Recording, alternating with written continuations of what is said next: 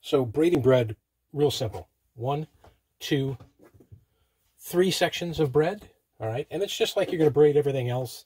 Sometimes for me, I have to not think about it to do it. Because if I think about it, I won't remember what I'm supposed to do. So you're going to you're going to do it on the one side, then you're going to flip the whole thing over and finish on the other side. Wait. Wait, what? You want me to use real bread? Okay, I got to clean up the house first. Then we'll use real bread.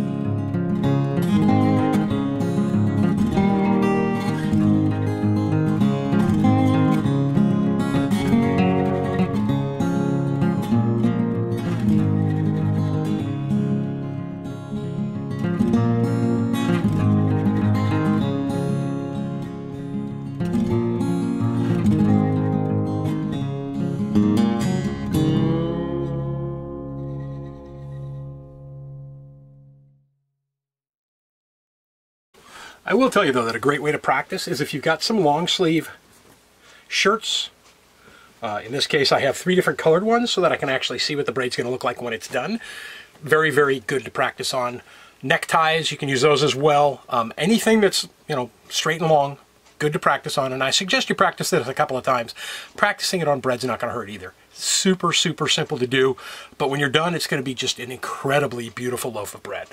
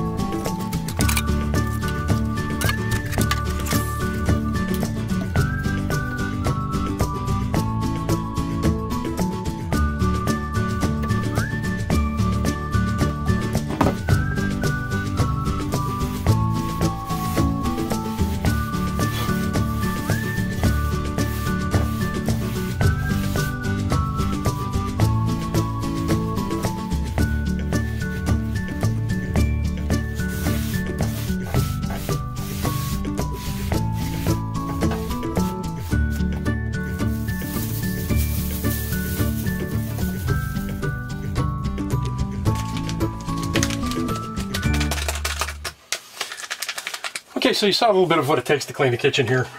Um, dry cabin, so all the water that I use I haul in. Uh, my drains actually don't go anywhere. Um, they, they actually just go through the piping system out to the back where the storage tank would be, but that storage tank doesn't exist. So um, I do it all in a bucket, and I just fill the baby out with the bath water, basically. I'm not going to make a scratch bread because I really don't have all the flour and everything else ingredient-wise because everybody has totally raided the stores on that. But I do have a kit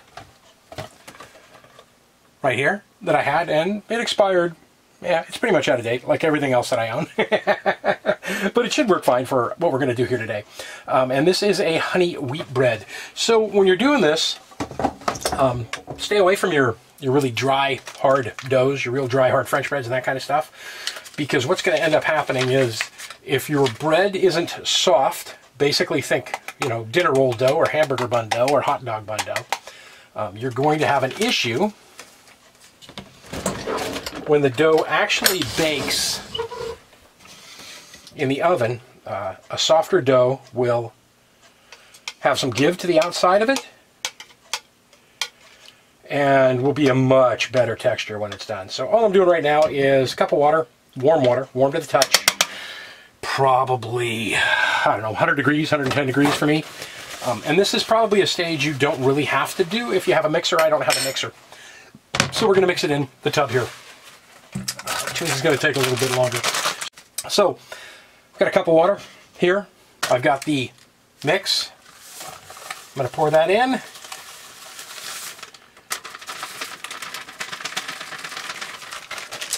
We'll get rid of that. We're going to let this set for a minute or two, but I do need some oil in here, and it calls for vegetable oil. I don't have vegetable oil, so instead of putting it in here, I'm going to put it in the water. It said two tablespoons. I'll add some more to it if I need to. Oil is just going to give your dough a little bit more moisture. If you do not have a mixer, you don't have to have one to make bread. There are tons of recipes online for no-knead doughs. And this time, by the way, I have a light set up over here. I make a little animal figures. Try and give us a little bit more brightness.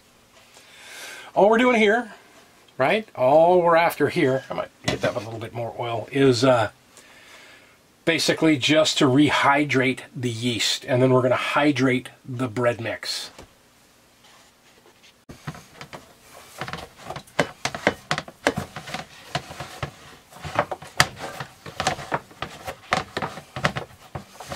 That's what we're looking for.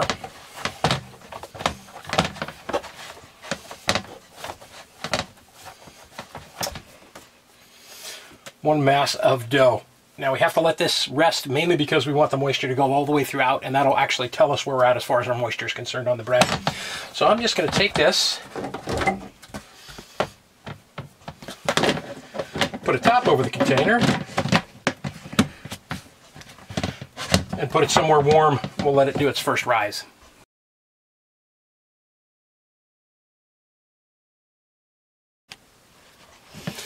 It's probably been sitting now for, I don't know, 45 minutes or so.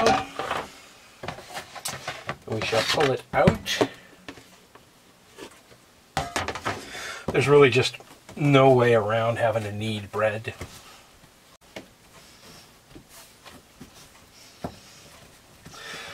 all the rough edges and the rips are telling me that we're not even anywhere near where we need to be yet.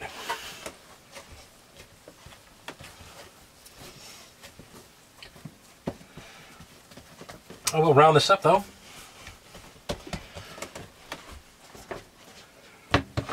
Pop it back in the container. We'll let it rest for a little bit more. A moose in the yard. I think that's the one that woke me up this morning. Uh-huh. Little baby. Two, maybe three year old. I can get a closer shot, but he'll get pissed. Okay, so it's been another half an hour plus since then. Um, and this thing is just taking its time because, you know, it's Alaska and it's not warm. so I'm going to show you a trick that not a lot of people are aware of. Move this out of the way here. And it's only fitting right now that in the background you hear a live from the Broussard family homestead. They're just freaking awesome people. And like I said before, this is a shout out to Abby, their daughter, who likes to bake. Now, I was in their channel when um, I happened to mention that I was a baker for many, many years. And uh, so that's what kind of got me stuck into making bread videos. We're making this video. Uh, where are we at here? Here we go. So I am going to show you a trick that not a lot of people know. Bread, Ziploc bag, uh, And now they're watching that. That's, just- that's so odd to me. and I'm just going to set this over on the counter for now. And if you look, our dough looks a lot smoother having sat and hydrated all up. And again, I've got nothing on the counter here.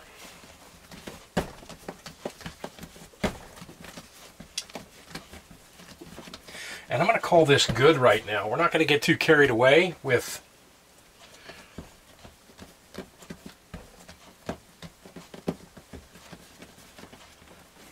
letting it raise anymore other than the fact that right now we're all hydrated. See how nice and round that is? Nice and smooth edges on the bread.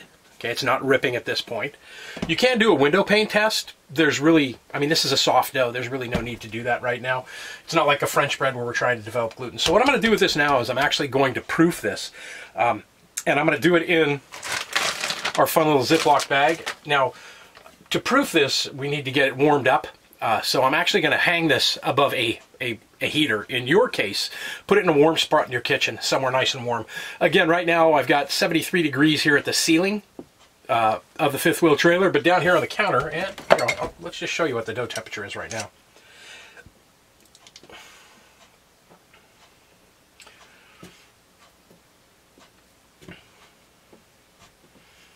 Oh, I got 73 degrees, 74 degrees on that. Pull it back out again. Yeah, 77-ish degrees right now. So, you know, not bad. Uh, but I do want it to warm up and I do want it to proof up some. Uh, it's going to cause the dough to soften a little bit more before we get on to the next stage of this. So we're going to let this rest for a little bit longer and we will move right along. Like I said, if you're doing this at home, it's much easier um, than doing this in a fifth wheel trailer. And if I can do it in a fifth wheel trailer in Alaska, you can do it at home. One more thing we're going to do to this before I let it make that final raise. So, and all I'm doing here is my thumbs are kind of tucking everything underneath as I'm rolling this into what you would consider a loaf shape. And I'm doing that because I need to get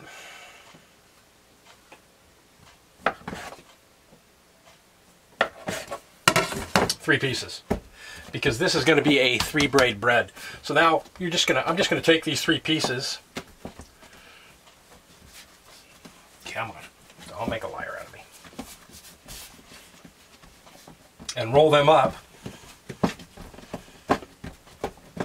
into balls that we're going to use to form our final braids with, our final loaves that we're going to braid with. Because it can proof just as well like this as it can in, in the single piece. But this should save me one step.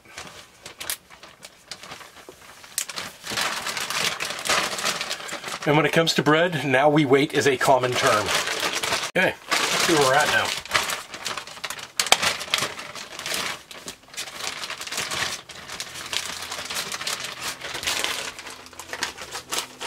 This point, we need to get our braids ready for the bread.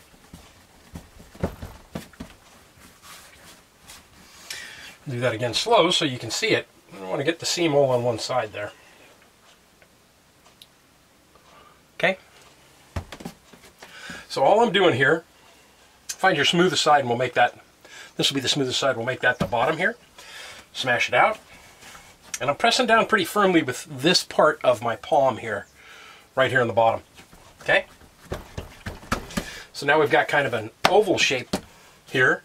And then we're going to just take it, roll it, and keep your thumb, you can see that there, flip it around so you can see it.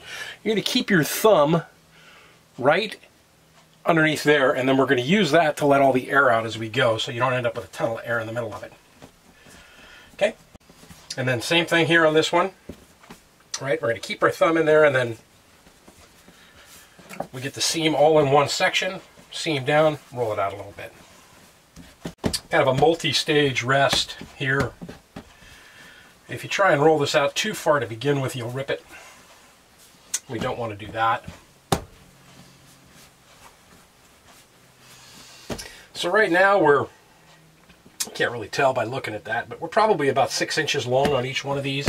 When we're done, we're going to want them to be about a foot, so they're going to be about about that long there when we're done, all each of them. I've got a big one, and that's fine. I'll throw that one in the middle, and I'll show you how it will actually benefit you to have one bigger one and two of the smaller ones. But for right now, here, let's do this. We're going to let that rest.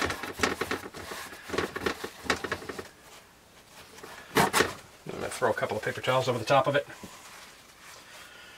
And that's just to stop anything from falling into it.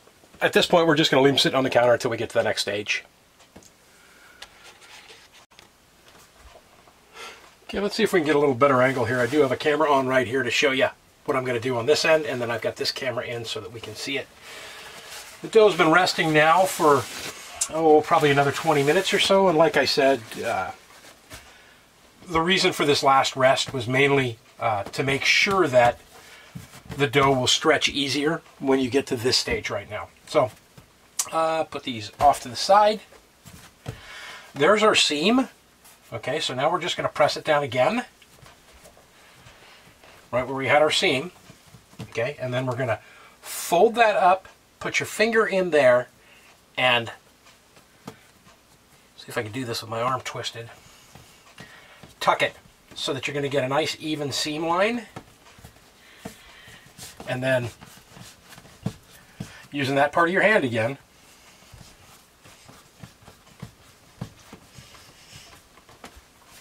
and getting our seam down in the bottom. So here's where we started. Here's where we're at. So much, you know, we've just picked up about this much more room on the on the size of that roll. But now I can take it and stretch it out a little more as well. And while sometimes you can get it in two, we might have to go a third little rest here. We'll see. I'll see if it stretches out a little bit more. There's our seam all on one line. We'll do the same thing to the next one. There's our seam. Press it down.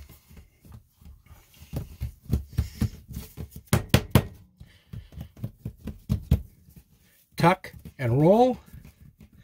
I'm just using this part of my fingers here, the pads of your fingers, to push that down nice and tight. So you get a nice tight seam here. You don't want this seam to open up. There's our single line of seam.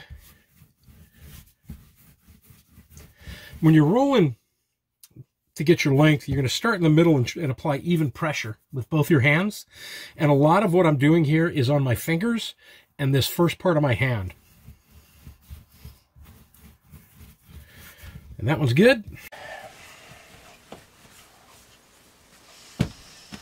But probably almost double in length right now.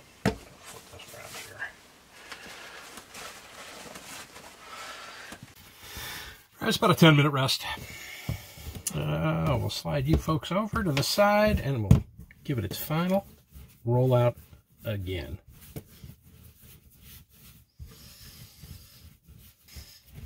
So, one, two, three. Okay? Now we're back to the same stage that we were with the t-shirt sleeves. the technique of braiding,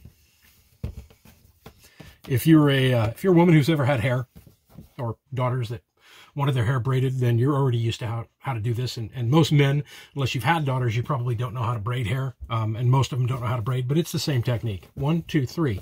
Over, over, over, over, over, over, and just keep going till you get to a point down there at the end. You see what that looks like? Okay. I'm going to undo this again real quick. We're going to do it again. So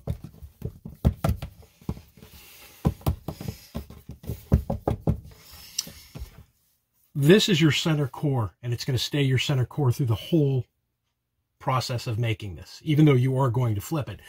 Everything that you're doing is focused on here. So at about the halfway mark here, right, on, on these braids, or on these, these three thin loaves, over from the outside, over from the outside, over, over, over, over, over, over, and just keep going until you get to the end. And then when you get to the end,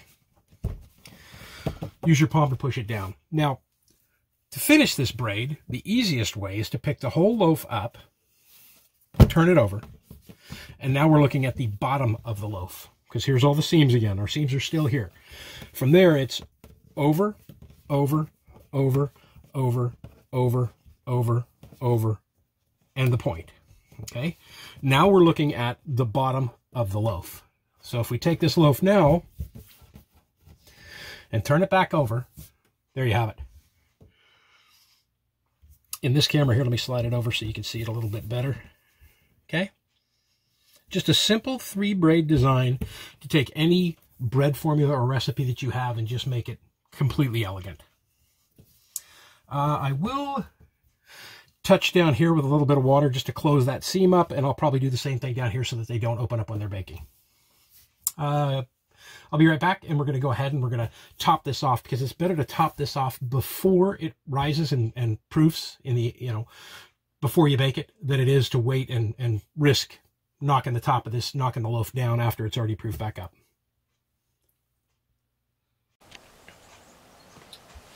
Okay, so now we have to top it. You don't have to top it. You could bake the loaf just like you have it here, but I always put something on top. And I'll shoot up a picture of um, what it looked like pretty much the last time I made these, maybe 12 years ago. it's been a while.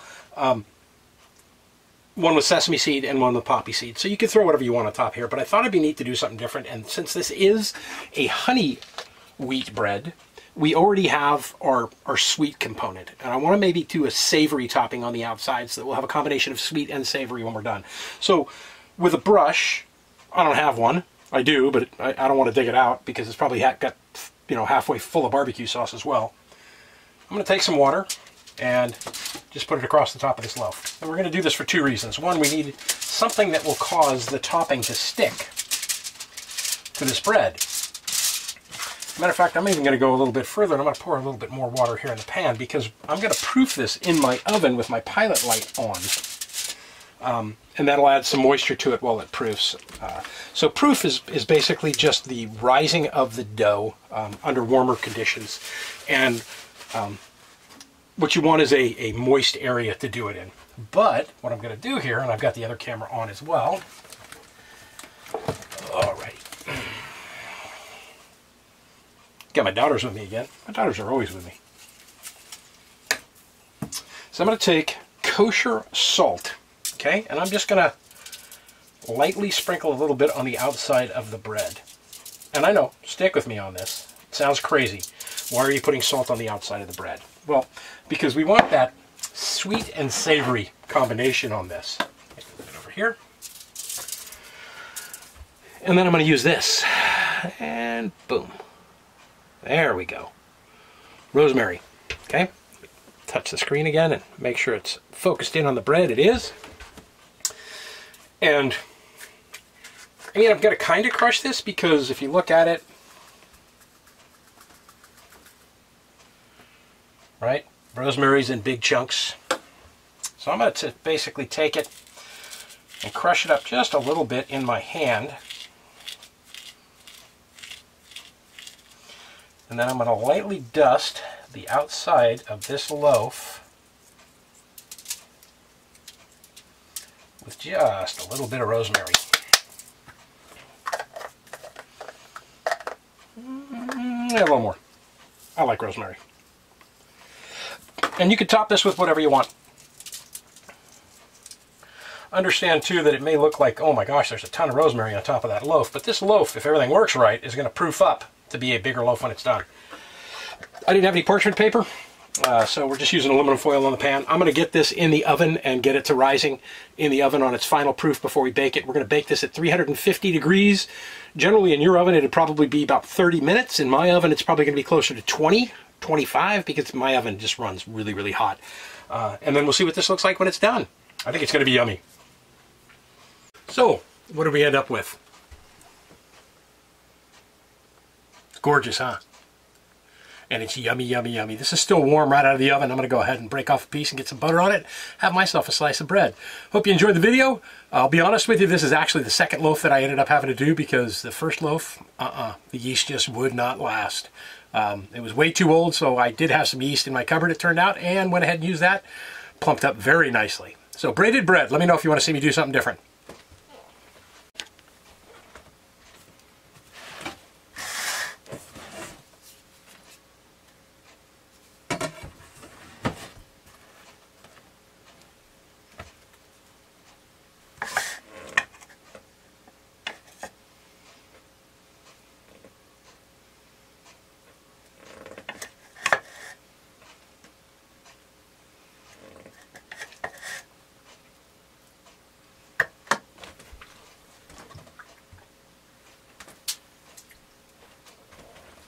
The best part about making these videos is the sampling when I'm done. Mm. mm, mm, mm, mm.